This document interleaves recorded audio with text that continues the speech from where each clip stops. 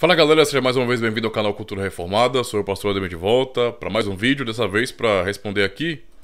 Uh, o Vinícius Duarte comentou aqui em um vídeo do canal sobre traduções da Bíblia e textos gregos, tá? Uh, ele perguntou aqui: ACF e King James 1611 são as melhores traduções que nós temos em português? Uh, antes de qualquer outra coisa, muito obrigado, Vinícius, por seu comentário, tá bom? Aproveita porque tem muito conteúdo aqui no canal, não só sobre Bíblia ou crítica textual, que é pouco conteúdo, na verdade, sobre esse assunto, né? Vamos desenvolvendo ao passar do tempo. Mas tem vários outros assuntos importantes aqui no canal, tá bom? Então sinta-se à vontade para aproveitar as playlists, beleza? Vamos então refletir aqui nessa pergunta sobre a ACF e sobre a King James, se são as melhores traduções que temos em português. Bem, é, eu posso responder diretamente que sim tá bom? Mas eu também preciso dizer que essa é minha opinião, tá bom? Uh, antes de qualquer outra coisa, é, é importante compreender que no Brasil nós temos muitas traduções excelentes, muitas traduções boas, realmente. Então, não é porque eu entenda que, por exemplo, a ACF e a King James 611 sejam as melhores que as demais são ruins, de forma nenhuma. São todas muito boas, não é? Uh, é claro que nós temos várias paráfrases, não é? Então, quando chegar a esse nível de paráfrase, uh, eu não vou tratar como tradução, porque não é tradução de fato, é uma paráfrase mesmo. Mas, no geral, é, outras traduções é, que nós temos são muito boas. Então, o ponto central, para mim, a preferência da, da, King James 1611 ou da SF, é, primeiro de tudo, é o texto grego que eles usam né, para traduzir o Novo Testamento. O Antigo Testamento é, usa a mesma base, né? Uh, mas o Novo Testamento, nós sabemos que tem muitos manuscritos e há divergência entre é, preferências ou e, entre famílias de manuscritos e de abordagem também não é, da academia. Então você tem, por exemplo, a do texto grego do Novo Testamento, você tem o, o texto crítico ou eclético, que tem o Códice Sinaítico, Alexandrino, uh, Vaticano, esse, esses textos não é que são considerados como texto crítico ou eclético, tá bom? Que são traduções do Nestor Island, tá bom? Ou então é, da quinta edição que é revisada, né? Então são esses textos aqui que usa essa metodologia científica para reconstrução do texto. O pressuposto deles é que não tem como achar, na verdade, não tem como chegar até o, o, o texto original, é? ou a redação original, no caso, né? Porque o manuscrito original não tem como mesmo, mas a redação original mesmo, para eles não ter como chegar. Então, a maioria das Bíblias, por exemplo, usa essa tradução, usa, usa esse texto, no caso. Por exemplo, a Almeida Revista atualizada, não é? A cadê? A, a NVI, tá? A NTLH e tantas outras. A versão católica também, por exemplo, a Bíblia de Jerusalém, não é? E as demais Bíblias também usam essa mesma fonte, que é o texto grego crítico, certo? Que para mim, que sou alguém que é defensor do texto majoritário, não é? Ou do texto bizantino, certo? É, eu, tenho, eu acabo rejeitando. Então, para mim, eles estão considerando manuscritos que são ruins, que são de má qualidade e que estão faltando versículos, porções da Bíblia, certo? Então, esses, esses são os manuscritos usados para a maioria das traduções que nós temos em português, tá bom? E isso já é um ponto principal, digamos assim, do porquê que eu prefiro a ACF e a King James. Por quê? Porque no fim, a ACF e a King James 1611, somente essa, elas usam como base para sua tradução o texto grego, tá bom? Que nós conhecemos hoje como texto receptus, tá? Que é o foi o texto usado pelos reformadores, beleza? Para a tradução das Bíblias.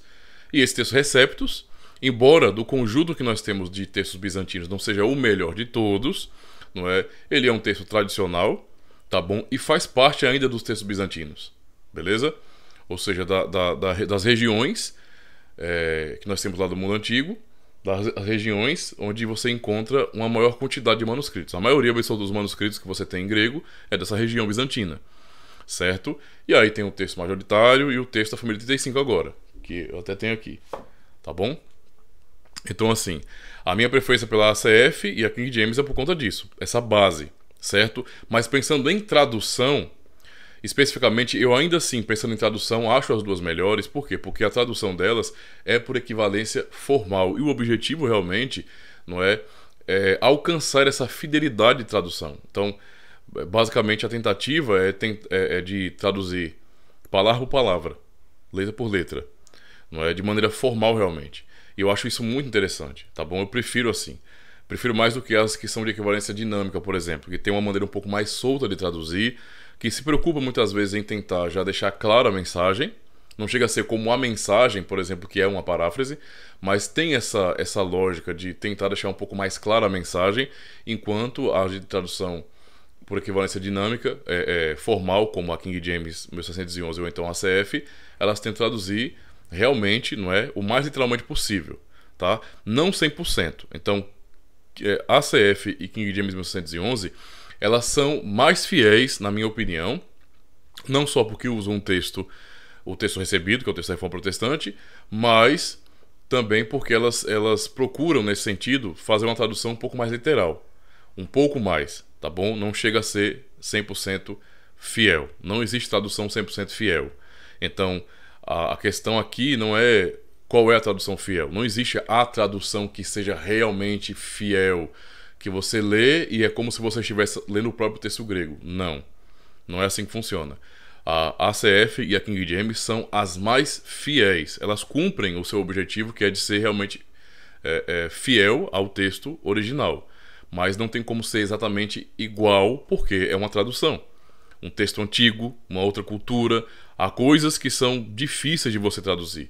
Simplesmente assim, palavras que são difíceis de traduzir, mas elas realmente cumprem o seu papel, a sua proposta nesse sentido, que é tentar ser o mais fiel possível, não é? Então, das que nós temos no mercado, essas são as melhores nesse sentido, não é? Ah, uma outra questão que eu também levo em consideração para isso, não é que é já uma resposta contra a acusação daqueles que são da equivalência dinâmica, que preferem Bíblias com linguagem mais atualizada, não é, que acusam tanto a King James 1611 como também a CF de serem obsoletas para o tempo de hoje, ou seja, de terem uma linguagem muito antiquada, muito retrógrada, muito antiga, que não é que não combina muito, é muito formal. E para mim isso é uma coisa falaciosa, porque sinceramente eu não vi até agora dificuldade de ler a CF ou a King James 1611 e ter dificuldade de entender. Né? Não tem como. Na verdade, eu acho que é, ainda é um auxílio, porque quando chega, é uma dica que eu, eu dou para quem está interessado em comprar essas Bíblias quando chegar aí uma palavra que você não conhece, não está familiarizado, é simples, cara. Dá um Google ou então pega um dicionário. Qual vai ser o resultado disso? Você vai ascender em conhecimento, ou seja, você vai aprender mais. Entende a situação? Então, para mim, uma Bíblia que mantém a linguagem do português, não é? O português bonito, certo? Sem tanta firula de mudanças culturais, mas aquele português é, é, bem mais formal e bonito, não é? Não atrapalha as pessoas, muito pelo contrário, promove mais conhecimento, não é? Desafia os seus leitores a realmente pesquisar certas palavras e então enriquecer seu vocabulário. Então por isso que eu acabo preferindo essas. Tá? Na minha opinião, então, a ACF e a King James 1611 são as melhores. E aí eu coloco ainda a ACF em primeiro lugar, tá? A ACF para mim tá acima realmente. Ela, ela, é uma Bíblia maravilhosa, uma linguagem maravilhosa, é a que eu tenho usado sempre. Tá? As outras eu tenho para fazer comparações, mas essa aí a CF para mim é a melhor, beleza? Valeu!